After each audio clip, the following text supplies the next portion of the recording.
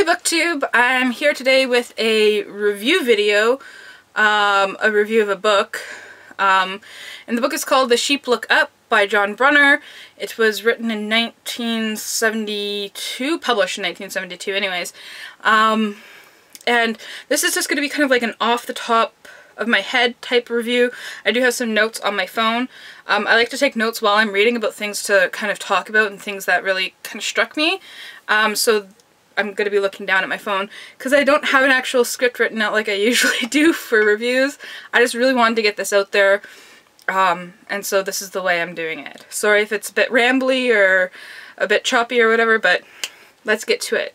Um, so first, just a basic summary, of course. Um, this is a, I believe it's categorized as science fiction horror, um, but the horror element isn't like a murder type horror, kind of, you know, bad guy, evil spirits type things. It's more of like a end of the earth, everyone's dying in horrific ways kind of horror.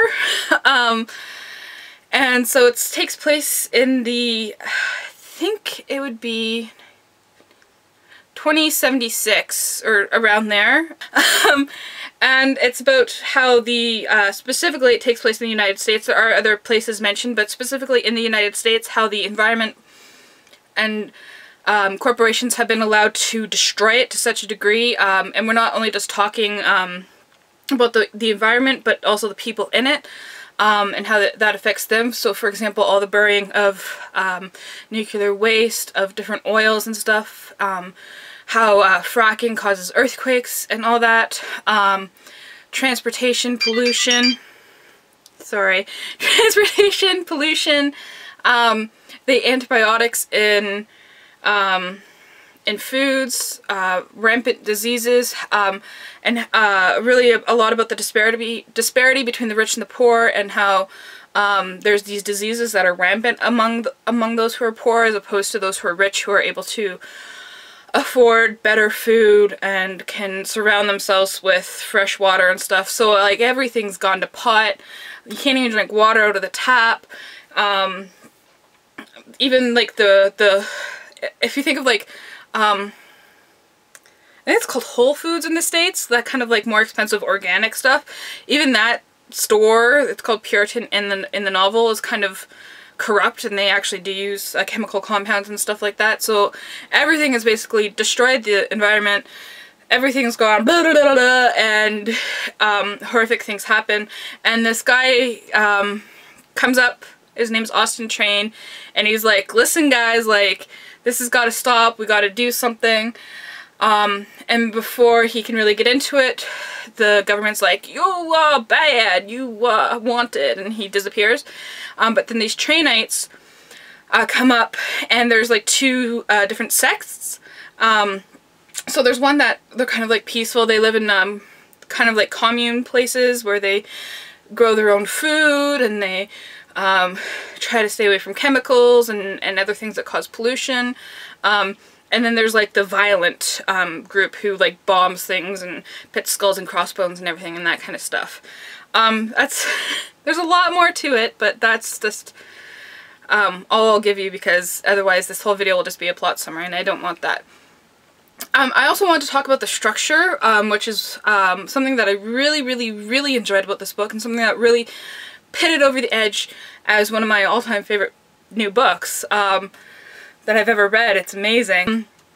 So the the book is break, broken up into uh, 12 chapters, so it's you go through the year from I believe it's from November to December, um, and each month begins with a poem. And he actually had me convinced that these poems were real because they're all in different styles from different time periods and stuff like that, and they're really well done. And I had to look it up multiple times. I'm like, he's not listing the author. Who's the author of these poems? And it turns out it's him himself. Um, so he's written all these different styles of poems, like there's um, Whitman um, kind of free verse, there's um, kind of um, like a Chaucer-like poem, um, some Shakespeare type stuff, all different, you know, there's some postmodern um, stuff thrown in there, like it's very quite interesting and, and captivating. Each time you get to the new chapter I was looking forward to reading the poem. Um, and then he also breaks up parts, um, like there's the, the narrative, and then he'll add um, bits and pieces from the media, so like a radio transcript or a TV transcript or an advertisement, something along those lines that either um, that um, adds rather to the to the story. Um, so it explains it in a way that's not like a whole page of um, exposition. It's, you know, just a, a, chunk of stuff that, oh, you know, that connects to that. Okay, I, I know what happened. Um, let's see what else I have here. Um, he has bits of uh, memos and news, um, news bits, transcripts.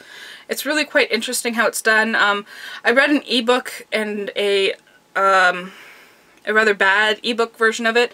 Um, I think there would have been pictures at some points because there were blank spaces um, that look like there would have been pictures. I really want to get my hand on a physical copy of this book because it's one of my all-time favorites now, as I say. Um, and they all add context and depth to the stories of the characters. Yeah, um, there's also parts where um, he goes rather rapidly through things, um, where he mixes in exposition, dialogue, media, transcripts, news, memos, death notices, and all this stuff, kind of like in one subchapter it's just like boom boom boom boom boom boom boom and I I really like that because it was kind of like a, a montage in writing of, of sorts. It was kind of like let's get this all this exposition out of the way that you kind of need to know um, but without taking up you know a hundred or more pages type thing. Um, so I really really liked the way that was done.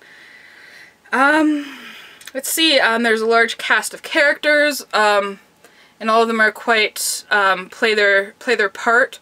Um, and I posted some pictures to Instagram saying like I can't believe this book was written um, 40 odd years ago, almost 45 years ago. Oh my gosh. Um, because it's the, the the issues that he addressed and the the casual way in which he addresses certain things seems very relevant to today.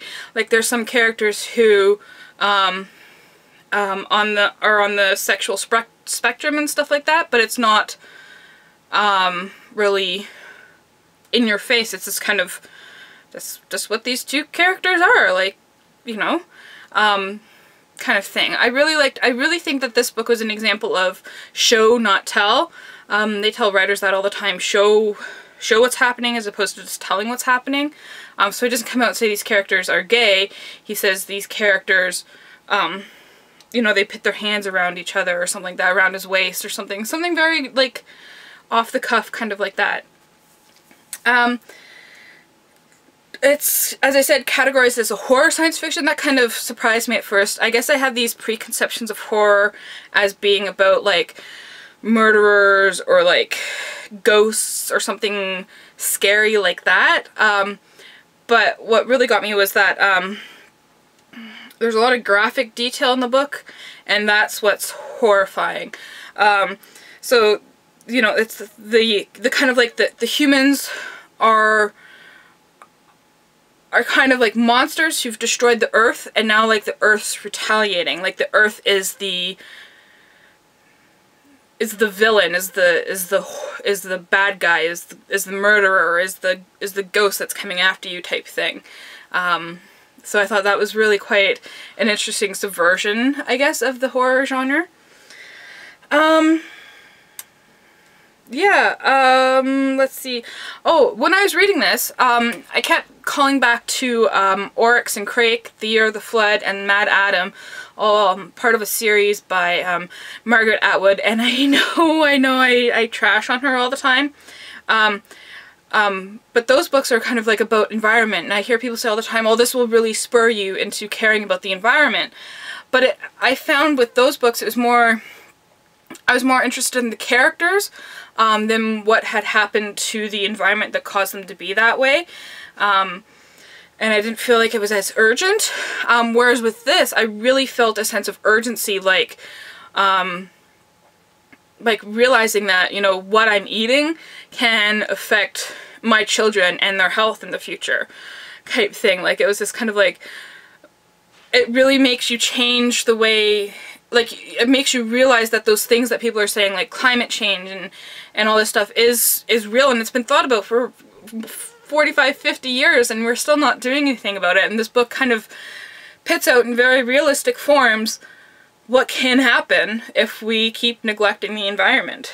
Um, and it's an urgent call to action and it says, you know, do something, please, save me.